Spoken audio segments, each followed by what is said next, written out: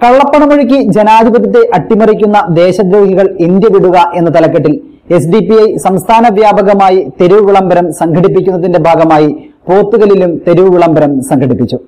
രാജ്യത്തിന്റെ ഭരണഘടനയെ ഇല്ലാതാക്കി അനുസ്കൃതി നടപ്പിലാക്കി മനുഷ്യരെ അടികളാക്കാൻ ശ്രമിക്കുന്ന ദേശദ്രോഹികളായ ബി ജെ പി പരിവാരങ്ങളെ തിരിച്ചറിയുക. കള്ളപ്പണമൊഴുക്കി ജനാധിപത്യത്തെ അട്ടിമറിക്കുന്ന ദേശദ്രോഹികൾ ഇന്ത്യ വിടുക എന്ന തലക്കെട്ടിൽ എസ് ഡി പി ഐ സംസ്ഥാന വ്യാപകമായി ആഗസ്റ്റ് ഒൻപതിന് തെരുവ് വിളംബരം സംഘടിപ്പിക്കുന്നു. ഇതിന്റെ ഭാഗമായി S D P I Pothukal panchayat committee Pothukal അങ്ങാടിയിൽ തെരുവ് വിളംബരം സംഘടിപ്പിച്ചു. പഞ്ചായത്ത് പ്രസിഡന്റ് അബ്ദുൾ വഹാബ് സെക്രട്ടറി ശിഹാബ് സ്രാമ്പിക്കൽ അബ്ദുൾ റഹിമാൻ പറമ്പൻ ഹാരിസ് കോടാലി എന്നിവർ പരിപാടികൾക്ക് നേതൃത്വം നൽകി.